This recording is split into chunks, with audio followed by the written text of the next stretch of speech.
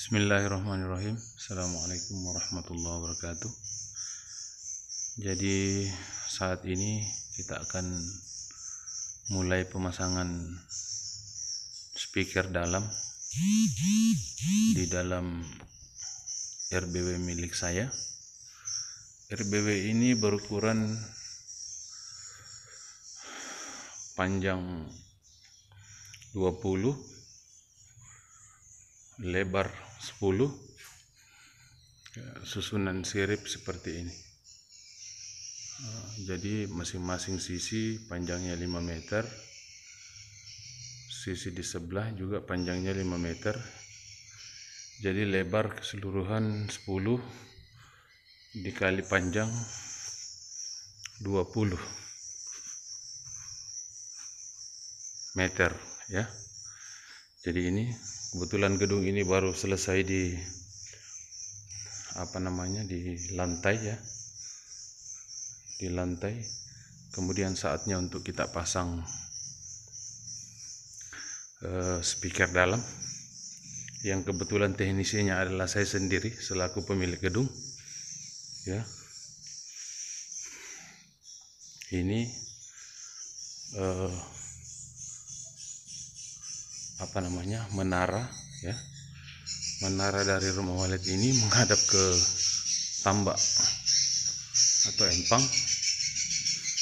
Ke atas. Menaranya ke atas.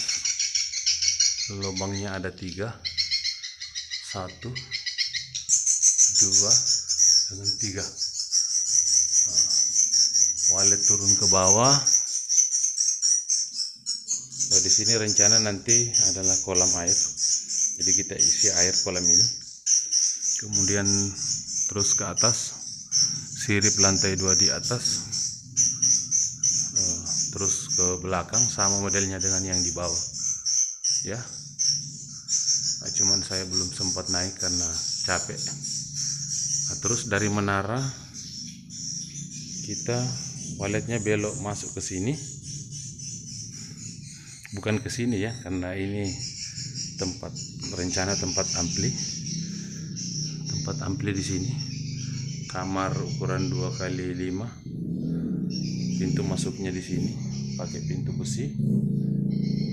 Ya kemudian pintu gedungnya ada di sebelah dalam terbuat dari plat besi juga.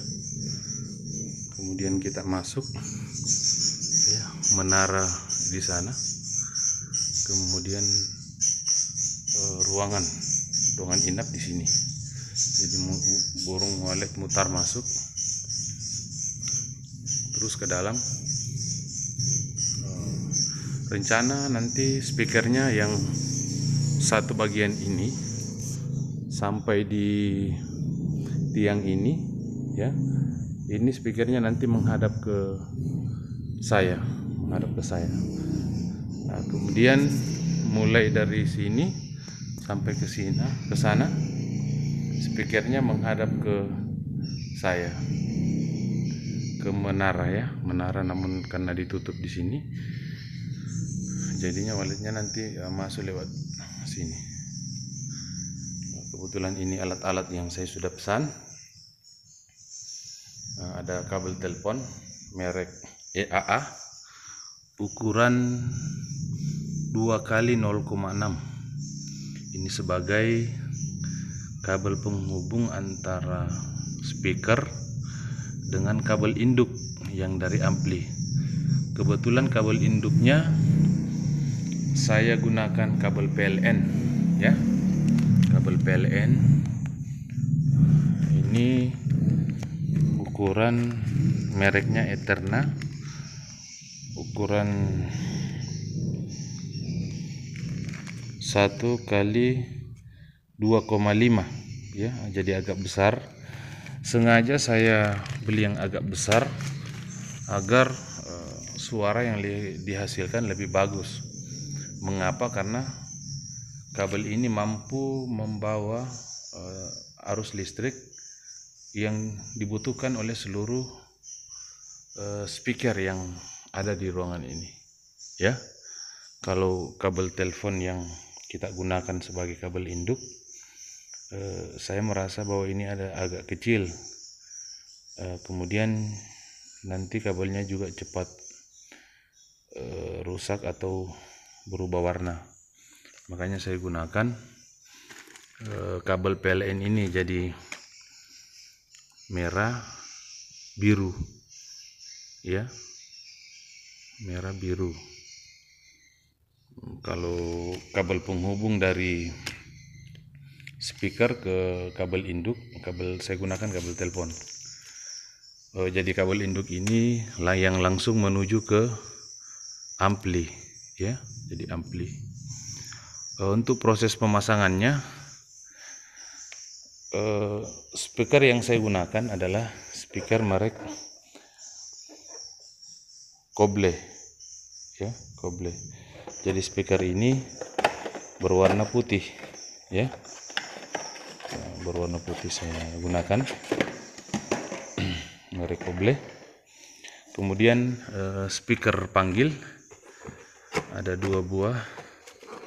Saya gunakan merek Audax AX 400 Audax AX 400 kemudian amplinya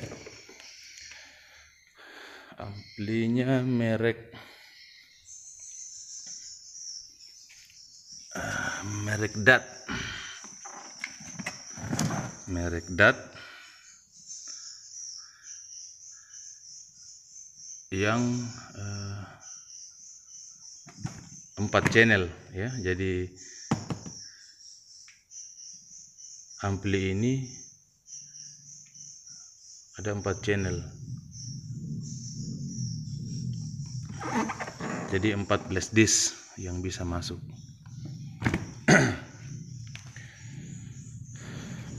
Nanti cara-cara pemasangannya akan saya upload kembali ya. Karena saya rencana speaker ini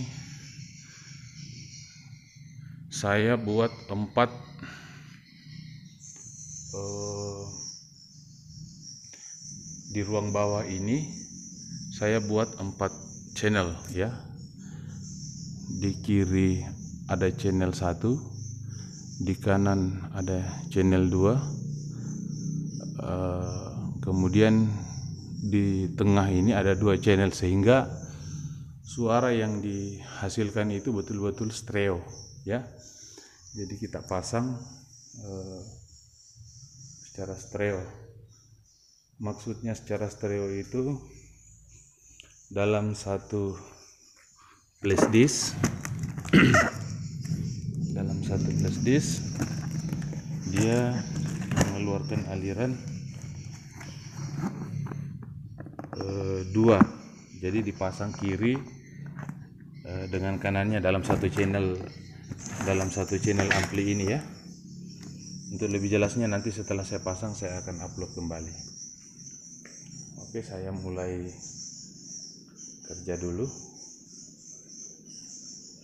Jadi saya beli juga lem apa namanya lem lilin untuk uh, pada saat nanti kabelnya disambung uh, di speaker ini ya.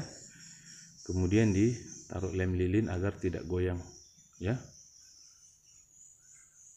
jadi sekali lagi ini adalah RBW saya pribadi dan saya tidak menggunakan teknisi. Karena kebetulan saya sudah sering memasang uh, speaker wallet baik di RBW saya sendiri maupun di RBW keluarga ya rekan-rekan. Jadi sekian dari saya.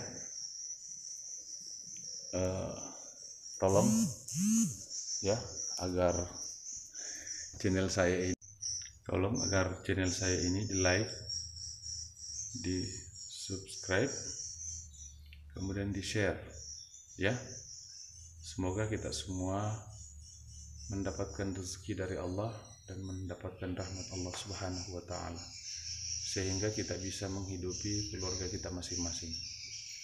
Wabillahi taufiq wal hidayah. Assalamualaikum warahmatullahi wabarakatuh.